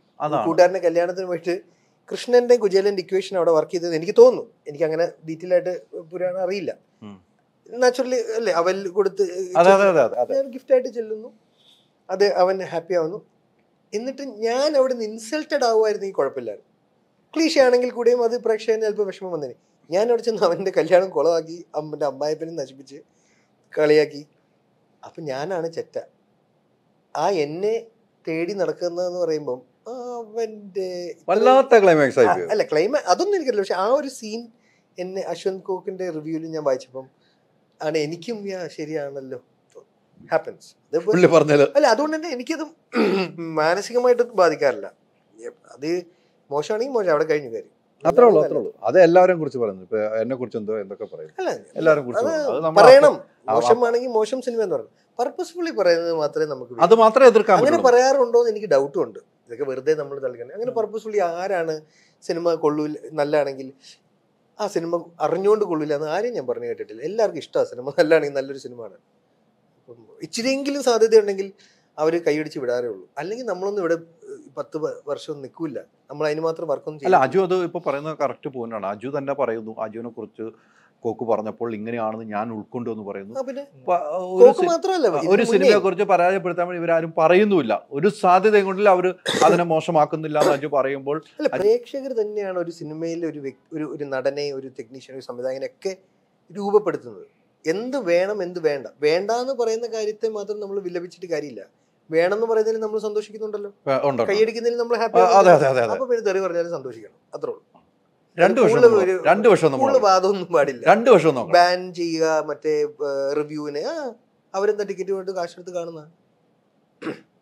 അതിലൊന്നും കുഴപ്പമില്ല. അവർക്ക് പറയാം ധൈര്യമായിട്ട് പറയാം. ഒരു ഒരു കുട്ടി. കണ്ടിട്ട് പറയണം. കണ്ടിട്ടില്ലേ പറയുന്നുള്ളൂ കണ്ടിട്ട് പറയാം. എവിടെ വേണേലും കണ്ടോട്ടെ തിയേറ്ററിലോ എവിടെ സിനിമ കണ്ടതിന് ശേഷം പറയാം. അതിനുള്ള സ്വാതന്ത്ര്യം അതുകൊണ്ട് വിലക്കി അവിടെ റിവ്യൂ എടുക്കാൻ പാടില്ല എന്ന് പറയുന്നതൊന്നും യോജിക്കുന്നില്ല. അത് ഞങ്ങൾ ആരും യോജിക്കുന്നില്ല. നമ്മൾ സിനിമ കണ്ടിട്ട് നിങ്ങൾ പറഞ്ഞു അദ്ദേഹം ഒരു ഹോട്ടലിൽ തുടങ്ങുകയാണെങ്കിൽ ഞാൻ അവിടെ പോയി ഭക്ഷണം കഴിച്ച് കൊള്ളില്ല കൊള്ളില്ല ഞാൻ അദ്ദേഹത്തിനോട് പറയുമല്ലോ. ഉറപ്പല്ലേ? ഏതൊരു വ്യക്തി. അപ്പൊ അതൊന്നും സി ഞാൻ അത് അതിൽ എന്താണെന്നറിയോ ചേട്ടാ? ഇവർ നല്ലത് പറഞ്ഞിട്ടുള്ളവരാ. എത്രയോ സിനിമകൾ ആ അപ്പൊ പിന്നെ ഒരു പ്രാവശ്യം അവർ മോശം എന്ന് പറയാൻ അവർ അറിഞ്ഞുകൊണ്ട് പറയേണ്ട കാര്യമില്ലല്ലോ. ശരിക്കും മോശമായതുകൊണ്ടല്ലേ. അപ്പൊ അതിനെ നമ്മൾ വെറുതെ അതിൽ കേട്ടു കൊള്ളൂല. നല്ലത് ചെയ്യൂ. അപ്പൊ അവർ വീണ്ടും നല്ല പറയും. അല്ല അങ്ങനെ പറഞ്ഞിട്ടുണ്ട്? ഉണ്ട്. അല്ലേ അങ്ങനെ പറഞ്ഞിട്ടുണ്ട്? എന്റെ ജീവിതത്തിൽ ഒരു ദിവസം കൊണ്ട് റിലീസായി വൈകിട്ട് റിമൂവ് ചെയ്യപ്പെട്ട സിനിമയിൽ ഭാഗമായിട്ടുണ്ട് പേര് പറയുന്നില്ല. ഒരു ദിവസം? രാവിലെ റിലീസ് ചെയ്ത് വൈകിട്ട് തന്നെ ആ തിയേറ്ററിൽ നിന്ന് മാറ്റി. പോയി. ആ നൂറ് ദിവസം പോയിട്ടുള്ള സിനിമയിലും ഇച്ചിരിയൊക്കെ ഭാഗമാകാൻ പറ്റിയിട്ടുണ്ട് അപ്പൊ ഈ രണ്ടും പ്രേക്ഷകർ തന്നെയല്ലേ? ഇത് ഒരേ പ്രേക്ഷകർ തന്നെയല്ലേ ഇത് രണ്ടും ചെയ്തേക്കുന്നത് അതെ അതെ. അവർക്ക് വെറുതെ ചെയ്യേണ്ട കാര്യമില്ലല്ലോ. എന്തെങ്കിലും ഒരു നല്ലതുണ്ടെങ്കിൽ ഒരു അവസരം ഉണ്ടെങ്കിൽ അവർ കൈയടിക്കാൻ റെഡിയാണ് തീർച്ചയായിട്ടും. ഒരു നന്മ ഉണ്ടെങ്കിൽ അവർ കൂടെ നിൽക്കും. അത് ചും- വെറുതെ പ്രേക്ഷകരെ കുറ്റം പറയോ അല്ലെങ്കിൽ റിവ്യൂ ചെയ്യുന്ന കുറ്റം പറഞ്ഞിട്ട് കാരണം നല്ല സിനിമയാണെങ്കിൽ പ്രേക്ഷകർ കൂടെ ആയിരിക്കും. അതിപ്പോ- മൂവി അവർക്ക് വേണ്ടിയാ. പിന്നെ അവർക്ക് ഇഷ്ടപ്പെട്ടില്ലെങ്കിൽ പിന്നെ നമുക്ക് വീട്ടിൽ അതന്നെ സിനിമ എന്ന് വിളിക്കാൻ പറ്റില്ല. എന്തറിയോ സിനിമ മാസ് മീഡിയ ഒരു ഒരു ഒരു അല്ലേ മാസ് ഓഡിയൻസിന് എൻജോയ് ചെയ്യേണ്ട ഒരു ഒരു മീഡിയമാണ് സിനിമ അപ്പൊ പിന്നെ അല്ലെങ്കിൽ നമുക്ക് ചെറിയ ഷോർട്ട് ഫിലിം ചെയ്യാം. ഈസി ആയിട്ട് ചെയ്യാം. ഒരു- പ്രശ്നവുമില്ല. എന്തായാലും അസഹിഷ്ണുത അഗെയിൻസ്റ്റ് റിവ്യൂവേഴ്സിനോട് ഞാൻ യോജിക്കുന്നില്ല. നമ്മൾ പലതും കാണിക്കുമ്പോൾ നമ്മൾ അവരെ അടച്ചിടുമ്പോൾ അവർ അതിശക്തമായിട്ട് തിരിച്ചു വരും. തിരിച്ചു വരും. പ്രേക്ഷകർ അങ്ങനെയാണ് തിരിച്ചു വന്നിരിക്കുന്നത്. പ്രേക്ഷകർ വെറുക്കും. നമ്മൾ വെറുപ്പിച്ചാൽ ഒരു ആർട്ടും വർക്കാവില്ല അങ്ങനെ തിരിച്ചു വന്നു. അങ്ങനെ തിരിച്ചു ഒത്തിരി പ്രേക്ഷകർ എതിരാവുന്നുണ്ട്. നമ്മളിപ്പോ എനിക്ക് ചേട്ടൻ നമ്മൾ തമ്മിൽ ഒരു ഒരു വാം തൊള്ളോണ്ടാണെങ്കിൽ അഹമ്മദ് നമ്മൾക്ക് വാം തൊള്ളോണ്ടെങ്കിൽ ഞാൻ തമാശ പറഞ്ഞ അല്ലെങ്കിൽ ചേട്ടൻ പറഞ്ഞാൽ നമ്മൾ ചിരിക്കണേ. ശത്രുക്കളാണെങ്കിൽ നമ്മൾ തമാശ പറഞ്ഞാൽ ചിരിക്കില്ല. നമ്മൾ ഒരിക്കലും പ്രേക്ഷകരെ വെറുപ്പിക്കരുത്. അല്ല അത് കൃത്യമായ. അത് എന്റെ റിക്വസ്റ്റ് ആണ് എല്ലാ അസോസിയേഷനുകളോടും അല്ല കൃത്യമായി അസോസിയേഷൻ അങ്ങനത്തെ വിലക്കൊന്നും പാടില്ല. അതിപ്പോ അജു പറഞ്ഞത് അജു കൃത്യമായിട്ടാണ്. ഒരാളെ നമുക്ക് ഒരാളെ ഒരു കൂട്ടിലിട്ടടച്ചാൽ നമ്മളുടെ സ്ക്രിപ്റ്റ് നന്നാക്കുക. ഞാൻ മോശമായ എത്രയോ സിനിമകൾ ചെയ്തിട്ടുണ്ട്. അഭിനയിച്ചിട്ടുണ്ട്. ഞാൻ തന്നെ ഞാൻ സംവിധാനം സോറി ഞാൻ പ്രൊഡ്യൂസ് ചെയ്ത് ധ്യാൻ ഡയറക്ട് ചെയ്ത ലവ് ആക്ഷൻ ഡ്രാമ തല്ലിപ്പൊളിപ്പെടാന്ന് എന്റെ സംവിധായം പറഞ്ഞിട്ടില്ലേ? തിരിച്ചറിഞ്ഞപ്പം. ഇതിലും വലിയ സ്റ്റേറ്റ്മെന്റ് വേണ്ടല്ലോ. We are ready to accept failures ഉൾക്കൊള്ളാൻ റെഡിയാണ് അതിന് മറ്റ് അസഹിഷ്ണുതകളോട് വിയോജിപ്പ്. അല്ല ഇത് ഉൾക്കൊള്ളുക എന്ന് പറയാൻ തന്നെ വലിയ പോയിന്റ് ആട്ടോ. അല്ല നമ്മൾ ഇന്ന് പലതും കാണുന്നുണ്ട്. ഈ വേർതിരിഞ്ഞുള്ളൊരു ഡിസ്ക്രീഷനോട് കൂടിയുള്ള ഒരു ഇടപെടലുകൾ ന്യൂജനോട് അപ്പോൾ അതിനോട് എനിക്ക് അജു ന്യൂജനാണോ? എത്ര അല്ല ന്യൂ ജനറേഷൻ തലമുറയോട്. ആ ഒരു വേർതിരിവ് അല്ല ഇന്ന് മലയാള സിനിമ ഇത്രയും ശ്രദ്ധിക്കപ്പെടുന്ന സിനിമകൾ ക്രിയേറ്റ് ചെയ്യുന്നത് ഡെഫിനറ്റ്ലി ഈ പറഞ്ഞ ന്യൂജൻ സംവിധായകരുടെ എഴുത്തുകാരുടെയും പങ്ക് ഭീകരമാണ്. വലുതായിട്ടുണ്ടോ ഇല്ലാന്ന് നമ്മൾ പറഞ്ഞാൽ ഒരിക്കലും അംഗീകരിക്കില്ല. ഈ പറഞ്ഞ ബിബിൻ ദാസ് ചെയ്ത സിനിമ ഇവൻ ചെയ്ത മധുരം മുകുന്ദനുണ്ണി ചെയ്ത ഇതൊക്കെ അവിടെ ശ്രദ്ധിക്കപ്പെടുന്ന ഇരട്ട ചെയ്ത രോഹിത്. ഇതൊക്കെ ശ്രദ്ധിക്കുന്ന ഇവരൊക്കെ പുതുമുഖ സംവിധായകരും പുതിയ തലമുറയിലെ സംവിധായകരും. വേർതിരിവ് ഉണ്ടെന്ന് വിശ്വസിക്കുന്നുണ്ടല്ലേ? വേർതിരിവല്ല അഭിപ്രായത്തിൽ പറയുമ്പോൾ ചില സമയത്ത് ന്യൂജൻ എന്തോ തെറ്റ് ചെയ്യുന്ന ഒരു ഫീൽ കാണാം. ന്യൂജൻ എന്ന് പറയുമ്പോൾ എന്നും എന്തോ ബാഡ് ആണെന്നുള്ളത്. ഞാൻ ന്യൂജൻ അല്ല. ഞാൻ ന്യൂജൻ അല്ല. ഡെഫിനറ്റ്ലി നാൽപ്പത് വയസ്സ് അടുക്കുന്ന ഒരാളാണ്. പക്ഷെ ഞാൻ ഇന്ന് ഏറ്റവും കൂടുതൽ ഈ ന്യൂ ജനറേഷൻ ആണ് ഇന്ന് ഈ പൊളിറ്റിക്കൽ കറക്റ്റ്നെസ്സും നമ്മുടെ സമൂഹത്തിൽ നിലനിന്ന പല ക്ലീശ അല്ലെങ്കിൽ തെറ്റായ പ്രവണതകളെയും നമ്മൾക്കത് തെറ്റാണെന്ന് തോന്നിപ്പിച്ച് തുടങ്ങിയത് ഇവരാണ്. അതുകൊണ്ട് തന്നെ I always would love to stand with the changes and the new generation കൃത്യമാണ് അജു. അജു പറയുന്ന പോയിന്റുകളിൽ ഞാനും യോജിക്കുന്നു. കാരണം അത്തരം ഒരു പ്രവണത പാടില്ല. ഒരു തെറ്റുകൾ കാണാം. തെറ്റുകൾ കണ്ടാൽ അത് തിരുത്താം. എക്സ്പീരിയൻസ് എന്ന് പറയാം. ഉം. ഉപദേശം അതൊക്കെ ചെയ്യാം. അതിനോടൊന്നും വിയോജിപ്പൊന്നുമില്ല കേട്ടോ. പക്ഷെ എപ്പോഴും ഇവരുടെ എല്ലാം തെറ്റുകളാന്നുള്ള മുൻവിധിയോട് എനിക്ക് യോജിക്കും ഒരു തെറ്റ് ചെയ്താൽ അവൻ ചെയ്യുന്നതെല്ലാം തെറ്റായിട്ട് കാണരുത്. മനുഷ്യരാണ് നീ തെറ്റ് പറ്റും. തെറ്റ് ചെയ്യാത്തവരാരും ഉണ്ടാവില്ല. കറക്റ്റ് ചെയ്യട്ടെ. അതിനുള്ള സമയം കൊടുക്കുക. കറക്റ്റ് ചെയ്യട്ടെ. ഏതിനോട്? അപ്പൊ പ്രേക്ഷകരെ നമ്മൾ അണ്ടർ എസ്റ്റിമേറ്റ് ചെയ്യരുത്. ഞാൻ ചെയ്തിട്ടുള്ള പടങ്ങളൊക്കെ ഉണ്ട്. ഇതൊന്നും നമ്മൾ അണ്ടർ എസ്റ്റിമേറ്റ് ചെയ്യാൻ ചെയ്യുന്നല്ല നന്നാവെന്ന് വിചാരിച്ച് ചെയ്യുന്ന. പക്ഷെ അത് തിരുത്തുക. അറിയില്ലെങ്കിൽ പഠിച്ച് ചെയ്യുക. എനിക്ക് അറിയാല്ലാത്ത പണിയായിരുന്നു ഒന്ന് രണ്ടെണ്ണം പ്രൊഡക്ഷൻ പരിപാടിയൊക്കെ. ഇനി അത് ചെയ്യുവാണെങ്കിൽ അത് വ്യക്തമായി മനസ്സിലാക്കി ഇതൊക്കെ ചെയ്യണം എന്നുള്ള ആഗ്രഹം. ഇല്ലെങ്കിൽ ചെയ്യാണ്ടിരിക്കുക. വേറെ ജോലിക്ക് പോകുക. അതല്ല അവരുടെ തലേ കയറായിരിക്കുക. ബാക്കിയുള്ളവരെ തലേ കയറിയിട്ട് കാര്യമില്ല. നമ്മൾ സ്വയം മനസ്സിലാക്കി നമ്മൾ തന്നെ പിന്മാറുക. പിന്നെ പറഞ്ഞതല്ല പ്രൊമോഷൻ വന്നിരുന്നു. ബിഫോർ റിലീസ് അത് ഗംഭീരമാണെന്ന് പറയാൻ പണ്ടും ശ്രമിച്ചിട്ടില്ല. സിനിമ റിസീവ് ചെയ്ത് കഴിഞ്ഞിട്ടില്ല നമുക്ക് പറയാം. പണ്ട് നമ്മൾ ആഗ്രഹിച്ചതാ പറഞ്ഞേക്കുന്നത്. ഇത് ഓടുമാ നല്ലതായിട്ട് വരും എന്നൊക്കെ. പക്ഷെ അത് ഓടാതിരുന്നപ്പോൾ ഞാൻ മനസ്സിലാക്കി വെറുതെ എന്തിനാ പറയണ അവരെ പറ്റിക്കണേ? അവരെ നൂറ്റമ്പത് രൂപ കളഞ്ഞിട്ട് അവരെ തെറിയും വാങ്ങിച്ച് പ്രാക്കും വാങ്ങിച്ച് നമ്മളെന്തിനാ വെറുതെ ജീവിക്കണേ? പടം ഇറങ്ങി അവരിഷ്ടപ്പെട്ട യാ നമുക്ക് വന്ന് പറയാം നല്ലതാന്ന് കുറേ പേര് പറഞ്ഞു വരുന്ന ഞാൻ ഉൾപ്പെടെയുള്ള ആങ്കർമാർ ഇവനും ഞാൻ ഇപ്പൊ ഇരുന്ന് ഇതൊരിക്കലും നമ്മൾ പറഞ്ഞില്ല ഇത് ഗംഭീരമാണെന്ന് നമുക്ക് ഭയമുണ്ടെന്നാ പറഞ്ഞു അതെ അതെ തീർച്ചയായിട്ടും അങ്ങനെയാണ് നമ്മൾ വെറുതെ ഇരുന്ന് തള്ളിയിട്ട് കാര്യം ഒരു ഫസ്റ്റ് ഒരു മീഡിയത്തിന് ഒരു ഒരു ഒരു ഒരു ഒരു പുതിയൊരു കാര്യമാണ്. അതിലോട്ട് നമ്മളും ബ്ലൈൻഡ് ആണ് സത്യം നമ്മൾ വെയിറ്റിംഗ് ആണ്. ഇതിന്റെ റിസീവിങ് എങ്ങനെ? അഭിപ്രായം എങ്ങനെ? കാരണം അതനുസരിച്ച് വേണമല്ലോ ബാക്കി നമ്മൾ നോക്കാൻ വേണ്ടി. സോ അല്ല സിനിമ ഇപ്പൊ പറഞ്ഞ പോലെ സിനിമ കണ്ടിട്ട് ഒരു ഇന്റർവ്യൂ എടുക്കുന്നതിനാണ് ഞാനും ചോദിക്കുക ഞാനൊരു സിനിമ കണ്ടിട്ട് ചോദിക്കാൻ എനിക്ക് ചോദിക്കാനുണ്ടാവും. അല്ലേ? അല്ലെങ്കിൽ നമുക്ക് അല്ലാതെ ചോദിക്കുമ്പോൾ ഒരു പത്ത് മിനിറ്റ് സിനിമയിലും ബാക്കി ഇരുപത് മിനിറ്റ് വേറെ എന്തെങ്കിലും ചോദിച്ചു കൊണ്ടുവരും നമ്മുടെ പേഴ്സണൽ ലൈഫ് പോയിക്കൊണ്ട് വരും. അല്ലെങ്കിൽ ഗെയിം ഷോ നടത്തിക്കൊണ്ടിരിക്കേണ്ടി വരും. സമയം പോകണ്ടേ? ഇരുപത്? ടീസറോ ട്രെയിലറോ എന്തെങ്കിലും ഉള്ളൂ നമുക്ക് ചോദിക്കാം. അതെ വേറൊന്നുമില്ല. ഞങ്ങൾക്കും പറയാനില്ല. അതെ അതെ. സിനിമയുടെ കഥകൾ പറയാനും പറ്റില്ല അപ്പം. സിനിമ ഒരു കണ്ട് ചർച്ചയിലോട്ട് വരണമെങ്കിൽ പ്രൊഡക്റ്റ് കാണണം. കണ്ടെടുത്ത് കണ്ടിട്ട് ചെയ്യുന്ന ഇപ്പൊ ഇതൊരു ആർട്ട് ഫോം ആയതിനേക്കാളും കൂടുതൽ ഇതൊരു ഇൻഡസ്ട്രിയൽ പ്രൊഡക്റ്റ് ആണ് സിനിമ ഇന്ന് കൊമേഴ്ഷ്യൽ സിനിമ. അതെ അതെ അതെ അതെ. അത് ഇവിടെ ഒരു സ്ഥലത്ത് എഡിറ്റിംഗ് നടക്കുന്നു അവിടെ ഒരു സ്ഥലത്ത് മിക്സിംഗ് നടക്കുന്നു ഒരു സ്ഥലത്ത് സൗണ്ട് ഡിസൈൻ നടക്കുന്നു ഒരു സ്ഥലത്ത് അഭിനയം നടക്കുന്നു ലൊക്കേഷൻ ഇതിപ്പോ ഒരു ഒരു മൊബൈൽ ഉണ്ടാക്കുന്ന പോലെ ചിപ്പ് ഇവിടെ വർക്ക് പ്രോസസ്സ് നടക്കുന്നു എല്ലാം കൂടെ അസംബിൾ ചെയ്യുന്നു. It's an industrial product Saaho എന്ത് പറഞ്ഞു? വെബ് സീരീസിലൊക്കെ പോയപ്പോൾ പുള്ളി ഭയങ്കര ബിസിയാണല്ലോ പുള്ളി പുള്ളി സിനിമാ നടനാണ് സംവിധായകനാണ് പാട്ടുകാരനാണ് ഇപ്പൊ മൂന്നാൽ പാട്ട് പാട്ടുപാടി. പാടി. എഴുത്തുകാരനായിരുന്നു ഇന്റർവ്യൂ സ്റ്റാർ ആണ്. ഇപ്പൊ ഹോസ്റ്റ് ആണ്. ദൈവമേ ഇനി എന്തൊക്കെയാണ്? കാണാൻ കിടക്കുന്നു. കാണാൻ പോകുന്ന ഞാൻ ഭയങ്കര ഹാപ്പിയാണ് കാര്യം കൂട്ടുകാരൻ മടിയനായ കൂട്ടുകാരൻ നന്നാവുമ്പം രണ്ട് അർത്ഥമുണ്ട്. ഒന്ന് അപ്പുറത്തെ മടിയൻ മാറിയിട്ടില്ലെങ്കിൽ. അത് പിന്നെ ചീത്തപ്പേരാ പേരാ. എല്ലാരും അവൻ നന്നായിട്ടോ? അതാണ് ഒരു അഭിപ്രായ വ്യത്യാസമുള്ളത്. രണ്ട് സന്തോഷം. പണിയെടുക്കുന്ന വെബ് സീരീസ് ചെയ്യാൻ പോയപ്പോ എന്ത് പറഞ്ഞു?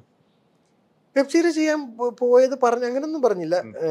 ഇനിയിപ്പോ കണ്ടു കഴിയുമ്പോ വല്ലതും വിളിക്കും. ടീച്ചർ ഒക്കെ അല്ലെങ്കിൽ അത് കണ്ടു നിങ്ങൾ അപ്ഡേഷൻ ഉള്ളതല്ലേ? അങ്ങനെ അപ്ഡേഷൻസ് അല്ല. പുള്ളിയുടെ കൂടെ സിനിമകൾ ഞാൻ ചെയ്യാറുണ്ടല്ലോ. അപ്പൊ ആ സമയത്തെ സിനിമകളും വിശേഷങ്ങളും ഒക്കെ അല്ല എപ്പോ ഞാൻ എനിക്കൊക്കെ എപ്പോ കണ്ടാലും ഞാൻ അജുവിന്റെ കാര്യങ്ങൾ പറയാൻ ഒരു സമയം കാണുന്നത്. ഉണ്ട്. എന്റെ അടുത്ത് ഞാൻ പറയുന്നത്. പുള്ളിക്ക് എപ്പോഴും ഒരു തമാശ എല്ലാത്തിലും കണ്ടുപിടിക്കാൻ. എളുപ്പമാണ്. ഒരു ചിരിയോട് കഥ കൂടി പറയാം. നല്ല സ്റ്റോറി ടെല്ലറ. എന്തൊക്കെ അല്ലെങ്കിൽ ചേട്ടന് തോന്നുന്നുണ്ടോ ഒരു മണിക്കൂർ കൊണ്ട് നയൻതാരെ പോലത്തെ ഒരു വലിയ താരത്തിന്റെ ഡേറ്റ് ആയിട്ട് വരുന്നു. ഈ കള്ളത്തരം ഉള്ളോണ്ടല്ലേ? അതായത് ഈ അപ്പൊ പറഞ്ഞ കഥയേ അല്ല ലവ് ആക്ഷനിലെ കഥ എന്ന് എനിക്ക് തോന്നി മാഡത്ത് പുള്ളിക്കാരോട് എന്തൊക്കെയോ വേറെ വലിയ പടമാണെന്ന് പറഞ്ഞേക്കണേ. പാവം. അപ്പൊ കേട്ടില്ലേ? അത് അത് ഇന്നും ഭയങ്കര ബന്ധം കേട്ടോ അവർ. അവർ തമ്മിലല്ലേ? ഇന്നും എനിക്ക് തോന്നുന്നു വീണ്ടും കഥ പറയാൻ ഒരു അവസരമൊക്കെ ധ്യാനം കിട്ടും. എന്നെ അടുപ്പിച്ചില്ല അല്ല ധ്യാൻ ഒരു വേറൊരു കഥാപാത്രമാണ്. നമുക്ക് എല്ലാവർക്കും ഇഷ്ടമുള്ള ഒരു വ്യക്തിയാണ്. ഷൂട്ടിംഗ് ലൊക്കേഷനിലൊക്കെ നിൽക്കുമ്പോൾ പ്രേക്ഷകർ വന്ന് ചോദിക്കാറുണ്ട്. കാര്യം അവന്റെ സുഹൃത്തായതെന്ന് അറിഞ്ഞാന്നുണ്ട് ധ്യാന്റെ വിശേഷം. അത് ഭയങ്കര നമുക്ക് സന്തോഷമുള്ള കാര്യം. നമുക്ക് നമ്മുടെ ഒരു സുഹൃത്തിനെ കുറിച്ച് പ്രേക്ഷ അതും ഇതിന് മാത്രം സിനിമയൊന്നും ചെയ്യാതെ. അല്ലേ? അല്ലെങ്കിൽ ഇത് മാത്രം ഹിറ്റൊന്നും ഇല്ലാതെ. അതൊരു ഭയങ്കര ഭാഗ്യമല്ലേ? പ്രേക്ഷകരുടെ ഇഷ്ടം കിട്ടുക എന്ന് പറയുന്നത്. സ്വാമിയുടെ സിനിമ ചെയ്തോണ്ടിരിക്കുകയാണോ. അതെ. എസ് എൻ സ്വാമിയുടെ ലെജൻഡറി റൈറ്റർ ആയ സാമി സാറിന്റെ ഫസ്റ്റ് സാറ് ഡയറക്ടർ എഴുപത്തിരണ്ടാം വയസ്സിൽ ഇന്ത്യയിൽ എഴുപത്തിരണ്ടാം വയസ്സിലാരും ഡയറക്ടർ യൂജൻ ഡയറക്ടർ ആണ്. അങ്ങനെയാണ് പറയുന്നത്. അവിടെ പറയുന്നത് ഈ എഴുപത്തിരണ്ട് തിരിച്ച് ഇരുപത്തേഴാം വയസ്സിലാണ് സ്വാമി ഡയറക്ഷൻ ചെയ്യാൻ വന്നേക്കുന്നത് ഞാൻ മുപ്പത്തഞ്ചാം വയസ്സിൽ അഭിനയിക്കുന്നതാണ് ധ്യാൻ പറയണേ അപ്പൊ അവിടെ തിരിച്ച് വിളിക്കുന്നതൊക്കെ അങ്ങനെയല്ലേ? ധ്യാൻ സാറേ എന്നും തിരിച്ച്. അല്ല എന്താണ് ഒരു കാര്യം എനിക്ക് ഉറപ്പാണ് സ്വാമി സാർ ഒരുപാട് ചിരിക്കും. ചിരി മാത്രമേ ഉള്ളൂ. ആ. ഉറപ്പാണ്. എന്റർടൈനർ അല്ലേ. ആ അതെ. അത് ധ്യാൻ ആരെ ഹേർട്ട് ചെയ്യാതെ സംസാരിക്കാം ഒരിക്കലും മുഖത്ത് നോക്കി ഉള്ളത് തുറന്നു പറയുകയും ചെയ്യും. ഒരു ഇന്റർവ്യൂൽ കണ്ടപ്പോഴത്തേക്കും വിശാഖിനെ കുറിച്ച് വിഷു കൈ നീട്ടെന്ന് അവനങ്ങൊന്നുമില്ല വന്ന് എടുത്തിട്ട് പോയിക്കോളും. വിശാഖ എന്റെ ഇന്റർവ്യൂ നല്ല ഇന്റർവ്യൂ അവൻ അറിഞ്ഞിട്ടില്ല കളിയാക്കാൻ. അത് അറിയാതെ കളിയാക്കാൻ. അത് സാറിന്റെതായ ഒരു ഒരു ഇതുണ്ട്. എന്തായാലും നിങ്ങൾ തമ്മിലുള്ള കൂട്ടുകെട്ടിൽ ഇനി സിനിമകൾ ഉടനെ പ്രതീക്ഷിക്കാം അവൻ ഡയറക്റ്റ് ചെയ്യാനുള്ളൊരു സിനിമ തന്നെ ഞാനും വെയിറ്റിംഗ് കാര്യം അവൻ ഡയറക്റ്റ് ചെയ്ത് നിവിനെ ഡയറക്റ്റ് ചെയ്താണ് എനിക്ക് ഭയങ്കര ഇഷ്ടം. നിവിന്റെ നിവിന്റെ അവന്റെയും കൂടെ ഒരു സിങ്ക് വരുമ്പോൾ ഒരു പ്രൊഡക്ഷൻ എങ്ങനെയാവും? നമ്മളായിരിക്കും. അതിന്റെ ഒരു പണിപ്പുര ആയിട്ട് ഞാനില്ല. വിശ ഞാൻ ഫണ്ടാസ്റ്റിക് ആണ്. പക്ഷെ ഫണ്ടാസ്റ്റിക്കിൽ പണിയെടുക്കാൻ വിശാഖമുള്ളതുകൊണ്ട് കുഴപ്പമില്ല. കുഴപ്പമില്ല. അത്ര ഒരു സിനിമ നമുക്ക് പ്രതീക്ഷിക്കാം അല്ലേ? തീർച്ചയായിട്ടും. ഡാന്റെ ഡയറക്ഷൻ പടം വന്നാൽ ഉറപ്പായിട്ടും. ഉറപ്പാണ്. വിനീത് ഡയറക്ഷനിലേക്ക് എഴുത്തിലാണെന്ന് കേട്ടു. ഞാൻ ധ്യാൻ അഭിനയിക്കുന്നുണ്ടെന്ന് അവൻ എല്ലായിടത്തും പറയുന്നുണ്ട്. പറയുന്നുണ്ട്. ഞാൻ പറയുന്നുണ്ട്. വിനീത് പറഞ്ഞ് ഞാൻ കേട്ടിട്ടില്ല. ഞാൻ പറയുന്നുണ്ട് എനിക്ക് വേഷം ഉണ്ടാവും എന്നോട് ഇന്നലെ കഴിഞ്ഞ ദിവസം എല്ലായിടത്തും പറയുന്നുണ്ട്. ഇപ്പൊ ഞാൻ ഞാൻ വിനീതിനോട് ചോദിച്ചു. ഇനി പറഞ്ഞുകൊണ്ടിരിക്കുന്നത് ഇനി ഒഴിവാക്കാതിരിക്കാനാണോ? അതായത് പ്രേക്ഷകർ ഫുൾ ധ്യാനിന്റെ കൂടെ നിൽക്കും. ആ എന്നാ പരിപാടിയാ ധ്യാനിനെ ഒഴിവാക്കിയത് ഫുൾ മറ്റേ മറ്റേ അയ്യപ്പനും കോശി പറയുന്ന പോലെ ഗാലറി പുള്ളിക്ക് കൂടെയാ. അതെ അതെ അതെ അതെ, കൈയടിക്കാൻ ആളുകളൊക്കെ ഇരിക്കുവാണ്. എന്തായാലും നല്ലൊരു വ്യക്തിയാണ് കേട്ടോ. നമ്മൾ പറയാതിരിക്കാൻ പറ്റില്ല എല്ലാവരുമായിട്ട് ചിരിച്ചു കളിച്ച് മുഖത്ത് നോക്കി ചിരിച്ചുകൊണ്ട് തന്നെ പറയുകയും ചെയ്യും. നമുക്ക് ഫീൽ ചെയ്യില്ല. അതാ. ഏറ്റവും വലിയ രസം. അല്ലേ. എന്നെ കുറ്റം പറഞ്ഞ് അത് ചിരിച്ചു കഴിവാ. നമുക്ക് എങ്ങനെ ഫീൽ ചെയ്യണം? അത് കഴിവാ. ഒരാളെ മുഖത്ത് നോക്കി അയാളെ ക്രിട്ടിസൈസ് ചെയ്തിട്ട് അയാളെ ചിരിപ്പിക്കാൻ പറ്റുക എന്ന് പറഞ്ഞാൽ അത് കഴിവാ. നമ്മൾ ഉൾക്കൊണ്ട് മിണ്ടാതെ പോവാല്ലേ? തിരിച്ചു പോലും പറയാൻ പറ്റില്ല നമുക്ക്. മാത്രമല്ല അത്ര സെയിം ടൈം വളരെ സീരിയസ് ആയിട്ടുള്ള ഇന്റർവ്യൂസ് ചേട്ടനോടൊക്കെ ഇരിക്കുന്നു. അല്ലെങ്കിൽ കഴിഞ്ഞ ദിവസം പാർവതിയുടെ ഒക്കെ ഒരു ഇന്റർവ്യൂവിൽ വിഷുവിന്റെ എന്ന് കൊടുത്താക്കിയില്ല വളരെ പക്വതയോടെയുള്ള സംസാരവും വൈഫിനെ കുറിച്ചും അർപ്പിതയെ കുറിച്ചൊക്കെ പറഞ്ഞൊക്കെ എന്റെ എല്ലാം സീരിയസ് മാറ്ററുകളിലേക്കായിട്ട് അതെ. ചിരിയില്ലായിരുന്നു. എനിക്ക് ലാസ്റ്റ് ചിരി വരാത്ത എന്താന്ന് ചോദിച്ചു. എനിക്കും വരുന്നില്ല. ഞാൻ അപ്പൊ കമന്റുകൾ നോക്കുമ്പോഴാ ഈ ചിരിക്കാത്തോണ്ട് ഞങ്ങൾക്ക് ഇഷ്ടപ്പെടില്ല. പക്ഷെ ഇത് ഭയങ്കര സീരിയസ് ആയി സീരിയസ് പക്ഷെ എന്ന കാര്യങ്ങളെല്ലാം പറഞ്ഞു. അതെ. ഇങ്ങനെ ഒരു മനുഷ്യനില്ല എന്നൊക്കെയാണ് എഴുതുന്നത്. അവിടെ എനിക്കെതിരെ ഒരു കമന്റ് ഇട്ട് ചിരിച്ചു മറിഞ്ഞു പോയി. അമ്മയുടെ പ്രസിഡന്റ് ആയിട്ട് അപ്പൊ ഞാൻ എന്നെ ആളെ എത്ര പരിചയമില്ലാത്തതുകൊണ്ടാണ് അമ്മയുടെ പ്രസിഡന്റ് ആയിട്ടില്ല കമന്റ് യൂട്യൂബിലോ ഉണ്ടാവും, നമ്മുടെ അമ്മയിൽ മെമ്പർഷിപ്പ് എടുത്തിട്ടില്ല എന്ന് വേറെ വാസ്തവം. മെമ്പർഷിപ്പ് ഇല്ല? ഇല്ല എന്നോട് പറഞ്ഞു. ആണോ? എടുക്കുമായിരിക്കും എടുക്കാൻ പോകാൻ ഇനി എടുക്കാതിരുന്നിട്ട് കാര്യമില്ല പുള്ളി അഭിനയിച്ചു തുടങ്ങിയിട്ട് ഇപ്പൊ ഒരു- വർഷമല്ലേ ആവുന്നുള്ളൂ. സ്ഥിരമായിട്ട്. അതിനു മുമ്പ് പുള്ളി ഞാൻ അഭിനയിക്കുന്നില്ല എന്ന് പറഞ്ഞില്ലേ? എപ്പോഴും കഥ ആര് പറഞ്ഞാലും ചേട്ടാ ഞാൻ ചെയ്യുന്നില്ല. അങ്ങനെ പറഞ്ഞുകൊണ്ടിരുന്നുണ്ട് ഇപ്പൊ എടുക്കും. ഇപ്പൊ ഇപ്പൊ എടുക്കുന്ന നിലയിലേക്ക് എത്തിയിട്ടുണ്ട് എന്തായാലും എടുക്കുകയും ചെയ്യും. പല പ്രശ്നങ്ങളുണ്ട് എന്തായാലും എടുക്കുക. പ്രശ്നങ്ങളിലേക്കൊന്നും ഞാൻ വരുന്നില്ല. അത് നോക്കിയപ്പോ ഇങ്ങനെ അജയ് കൈകണ വെച്ച് പ്രശ്നങ്ങളിലേക്കൊന്നും വന്നില്ല. ഇത്ര തരം നന്നായിട്ട് പോണി ഇനി പ്രശ്നങ്ങൾ ഉള്ളതൊക്കെ പറഞ്ഞിട്ടുണ്ടല്ലോ. എനിക്ക് പറയണ്ടൊക്കെ ഞാൻ ഇനി എന്തെങ്കിലും ഒരു കാര്യങ്ങൾ ചോദിക്കാം. ഇഷ്ടമുണ്ടെങ്കിൽ മറുപടി പറയാം ഇല്ലെങ്കിൽ പറയണ്ട. എഡിറ്റിംഗ് കാണണമെന്നൊക്കെ പറയുന്ന ഒരു രീതി ശരിയാണ്. എഡിറ്റിംഗ് ഇടപെടാറുണ്ട്. ഇടപെടാറുണ്ട്. അതാണ് ഞാൻ ചോദിച്ചത്. ഞാൻ ഇടപെടാറുണ്ട് എഡിറ്റിൽ ഉം. അത് സംവിധായകന്റെ ആവിഷ്കരണ സ്വാതന്ത്ര്യത്തിനെ തടഞ്ഞുകൊണ്ടല്ല. ആ എന്റെ എഡിറ്റ് മണ്ടത്തരമാണെങ്കിൽ അത് മണ്ടത്തരം അങ്ങേര് പറഞ്ഞാൽ ഞാൻ എണീറ്റ് പോവുകയും ചെയ്യും. പക്ഷെ അതുകൊണ്ട് എന്തെങ്കിലും ഒരു ഗുണം ആ സിനിമയുടെ ടോട്ടാലിറ്റിയിൽ വന്ന സിനിമയുടെ നിന്ന് വിടൂ. എന്റെ സീനുകൾ മാത്രം ഞാൻ അങ്ങനെ നോക്കാറുള്ളൂ. എന്റെ സീൻ. കാര്യം അഞ്ച് ടേക്ക് എടുത്തിട്ടുണ്ടാവും ഒരു റിയാക്ഷൻ എനിക്ക് ചിലപ്പോൾ മൂന്നാമത്തെ ആയിരിക്കും ഇഷ്ടം. സംവിധാനം ചിലപ്പോൾ ആ തിരക്കിനിടെ അങ്ങേർക്ക് എന്നെ മാത്രം നോക്കിയാൽ പോലെ അല്ലെങ്കിൽ നായകൻ. നായികയൊക്കെ ഉണ്ട്. എനിക്ക് എന്നെ മാത്രം നോക്കിയാൽ മതി. അപ്പൊ ചിലപ്പോൾ എന്റെ നാലാമത്തെ അല്ലെങ്കിൽ രണ്ടാമത്തെ ആയിരിക്കും എനിക്കിഷ്ടം. അപ്പൊ അതൊന്ന് വെക്കാൻ ഞാൻ എഡിറ്ററോട് പറയും. എന്നിട്ട് ഞാൻ ചോദിക്കും ഇതല്ലേ ബെറ്റർ അങ്ങനെ ബേസിൽ ജോസഫ് മിന്നൽ മുരളിയിൽ അദ്ദേഹം അങ്ങനെ വെച്ച് തന്നിട്ടുണ്ട്. അങ്ങനെ പെട്ടെന്നൊരു പേര് പറഞ്ഞുകൊണ്ട് ഞാൻ പറഞ്ഞത്. ഉദ്ദേശിക്കുന്ന അയച്ചേട്ടനെ എഡിറ്റ് റൂമിൽ നമ്മൾ എഡിറ്റ് ചെയ്യുന്ന സമയത്തെ കാര്യമല്ല പറയുന്നത്. ഷൂട്ടിൽ സ്പോട്ട് എഡിറ്റ് സ്പോട്ട് എഡിറ്റിംഗ് കാര്യമാണ് പറഞ്ഞത് അല്ലെങ്കിൽ ഡബ് ചെയ്യുന്ന സമയത്ത് ഞാൻ ചോദിക്കും. ഈ ഷോട്ടിന് പകരം ഇരിപ്പുണ്ടോ എടുത്തതുണ്ടോ ആക്ച്വലി ഒരു നമ്മുടെ കോമ്പിനേഷൻ പോലെ ഇതിൽ നല്ല ഉണ്ടായിരുന്നു? നീ അങ്ങനെ നോക്കണേ. സജഷൻ ആണ്. അല്ലാതെ ഇത് വേണം എന്നുള്ള ഒരു ചോദിക്കുന്ന രീതിയോടാണ്? ആത്യന്തികമായും പ്രൊഡക്റ്റ് നന്നാകുക. അതിന് എന്റെ അഞ്ച് സീൻ കട്ട് ചെയ്ത് കളഞ്ഞാൽ എനിക്ക് കുഴപ്പമില്ല. ആക്ച്വലി ഓഹോ.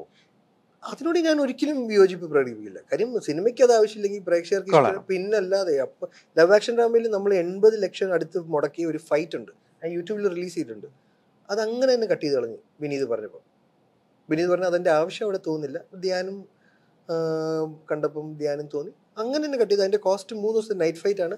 നിവിന്റെ one of the good best ഫൈറ്റ്സിൽ പറഞ്ഞാണ് അതിന് ക്ലോസ് ടു എയ്റ്റി ലാക്സ് വന്നു അത് കളഞ്ഞു. അങ്ങനെ തന്നെ. അല്ലെങ്കിൽ നയൻതാര മാഡം ഉള്ള എപ്പിസോഡാ ഒന്ന് ഓർത്ത് പുള്ളിക്കാരുടെ ഒരു മൂന്ന് നൈറ്റ് അതെ അതെ. അത്രയും നമ്മൾ എക്സ്പെൻസീവ് ആണ് അത്. അത്രയും junior artist Robert Downey junior എന്ന് പറയുന്ന അയൺമാൻ അയൺമാന്റെ ഹിസ്റ്ററി അറിയാവുന്നവരല്ലെങ്കിൽ അറിയാം. അതെ അതെ. ഇന്ന് ലോകം ഏറ്റവും കൂടുതൽ സെലിബ്രേറ്റ് ചെയ്യുന്ന അയൺമാൻ ഒരിക്കൽ എത്രമാത്രം അപഹാസ്യനായതും ക്രിറ്റിസിസം കിട്ടിയതൊക്കെയാണ്. ഒന്നും സ്റ്റഡിയല്ല അതായത് നല്ല കാലവും സ്റ്റഡിയല്ല മോശം കാലവും സ്റ്റഡി അല്ല. കോവിഡ് ഇങ്ങനെ പെട്ടെന്ന് മാറും നമ്മൾ വിചാരിച്ചോ? ഒരിക്കലും ഇല്ല. ഞാൻ വിചാരിച്ചു ഒരു ആറ് വർഷമൊക്കെ ഉണ്ടാവും. അതൊക്കെ Actually, അന്നത്തെ ഒരു പീക്ക്നെസ് ഒക്കെ കണ്ടപ്പോൾ ഞാൻ വിചാരിച്ചത് ഒരിക്കലും ഇനി സിനിമയൊന്നും ടൊവിനോ ഈ അടുത്ത് പറഞ്ഞല്ലോ പ്രളയം വന്നപ്പോഴും അവൻ വിചാരിച്ചു. അദ്ദേഹത്തെ ഒരുപാട് വിമർശിക്കപ്പെട്ടപ്പോൾ അദ്ദേഹം വിചാരിച്ചു ഞാൻ ആ സമയത്ത് സിനിമ വിട്ട് കരയും പ്രളയം വന്ന് കേരളമൊക്കെ പോയി ഇനി എവിടുന്ന് സ്റ്റാർട്ട് ചെയ്യുന്ന ചിന്തിച്ചിരിക്കുന്ന ഒരു എല്ലാവരും അങ്ങനെ തന്നെയല്ലേ കോവിഡ് വന്നപ്പോഴും? ആ സമയത്ത് ആരും വേറൊന്നും ചിന്തിക്കുന്നില്ലല്ലോ. ഗ്രൗണ്ട് ലെവലിൽ എല്ലാവരും എത്തിയില്ലേ? ഏത് അംബാനി ഏത്. അജു വർഗീസ് എന്നുള്ള ലെവലിൽ ഒന്നുമില്ല ഒന്നുമില്ല ഒന്നുമില്ല. പട്ടി കൊണ്ട് സൂക്ഷിക്കണമെന്ന് എഴുതി വെച്ച ഗേറ്റിൽ പട്ടി ഒഴുകി കിടക്കും അതെ. അതിനപ്പുറത്തേക്കൊന്നുമില്ലോ പ്രളയം വന്നപ്പോൾ അതുകൊണ്ട് ഒന്നും ശാശ്വതമല്ല എല്ലാം മാറും. Malayalam industry actually in is in a good phase അതിനെ മുന്നോട്ട് കൊണ്ടുപോകാൻ കെൽപ്പുള്ള ആൾക്കാർ തന്നെയാണ് സംവിധായകൻ ടെക്നീഷ്യൻസ് ആയിട്ടൊക്കെ ഉള്ളത്. നമ്മളെ സപ്പോർട്ട് ചെയ്യാൻ എക്സ്പീരിയൻസ്ഡ് നടന്മാരും ടെക്നീഷ്യൻസും ഉണ്ട്. സോ ഈ തെറ്റുകളൊക്കെ തിരുത്തി മുന്നോട്ട് തന്നെ പോകും. തീർച്ചയായിട്ടും ഈ തെറ്റുകളെല്ലാം തിരുത്തി മുന്നോട്ട് പോകേണ്ട. ഈ പറഞ്ഞതുപോലെ നേരത്തെ അജു പറഞ്ഞ പോലെ ഒന്നിനും ഒരു പരിഹാരമാകാറില്ല. എല്ലാം പറഞ്ഞാൽ തീരാവുന്ന പ്രശ്നങ്ങൾ മാത്രമേ ഉള്ളൂ. അത് പൊതുസമൂഹത്തിന് മുമ്പിലേക്ക് വലിച്ച് ഇടാതെ ശ്രദ്ധിച്ചാൽ എനിക്ക് അത് വിയോജിപ്പുണ്ട്. കാര്യം നമ്മുടെ വീട്ടിലൊരു പ്രശ്നം നടക്കുമ്പം അപ്പുറത്ത് എല്ലാവരെയും വിളിച്ചു കൂട്ടി പറയുന്നതിനേക്കാളും കുറച്ചും കൂടി എനിക്കൊന്ന് ചിലപ്പോൾ ഈ കേസുകളിലൊക്കെ ഇച്ചിരി ബുദ്ധിമുട്ട് കൂടിയത് കൊണ്ടായിരിക്കും അങ്ങനെ ഒരു സ്റ്റേറ്റിലോട്ട് അവർ പോണ്ടി വന്നത്. പക്ഷേ സ്റ്റിൽ ആത്യന്തികമായി ഇവരൊക്കെ സുഹൃത്തുക്കളാണ്. സുഹൃത്തെന്ന് പറയുന്നതിനേക്കാളും നമ്മളുടെ എന്താ പറയുക സഹപാഠി എന്നല്ലല്ലോ കൂടെ വർക്ക് ചെയ്യുന്ന കോ വർക്കേഴ്സിന് കോ വർക്കേഴ്സാണ് എല്ലാവരുടെയും ഒരു വെൽബീയിങ് കാണാൻ തന്നെയല്ലേ നമുക്ക് ഇഷ്ടമുള്ളൂ പ്രത്യേകിച്ച് ഈ പ്രളയം കോവിഡിന് ശേഷം നമുക്കൊരാൾ അതിന് മുന്നേ പിന്നെ ഓക്കെ ഇപ്പം ചേട്ടൻ ഒന്ന് എന്ന് എനിക്ക് സന്തോഷിക്കാന്ന് പറയാം. പക്ഷെ ഇപ്പം എനിക്കൊന്നുമില്ല. ഒരു മനുഷ്യനും അതിൽ വലിയ സന്തോഷമൊന്നുമില്ല. ആർക്കെങ്കിലും ഒരു ദുഃഖം വന്നു കഴിഞ്ഞാൽ ബോധർ ചെയ്യാതിരിക്കാം. അതെ അയാളുടെ വിഷയം എന്റെ വിഷയമല്ലാന്ന്. പക്ഷെ ഒരിക്കലും അതിനെ നോക്കി സന്തോഷിക്കുന്ന ഒരു മാനസികാവസ്ഥയിൽ അറ്റ്ലീസ്റ്റ് മലയാളികളല്ല എന്ന് ഞാൻ വിശ്വസിക്കുന്നു. അപ്പൊ എല്ലാം ഈ പറഞ്ഞ പോലെ പൊതുസമൂഹത്തിലുള്ള അതെല്ലാം നമുക്ക് തീർക്കാം. നമ്മൾ വീട്ടിന്റെ അകത്ത് നടക്കുന്ന സംഭവം നമ്മൾ വീട്ടിൽ പറഞ്ഞു തീർക്കുക. അതാണ് എപ്പോഴും എല്ലാ മേഖലയിലും ഒരു ഫ്ലൈറ്റിന് മുകളിൽ പോകുമ്പോൾ കുറച്ചും കൂടി ഒരു ഏരിയൽ വ്യൂവിൽ നോക്കി കഴിഞ്ഞാൽ നമ്മൾ ഇത്രേ ഉള്ളൂ. അതെ.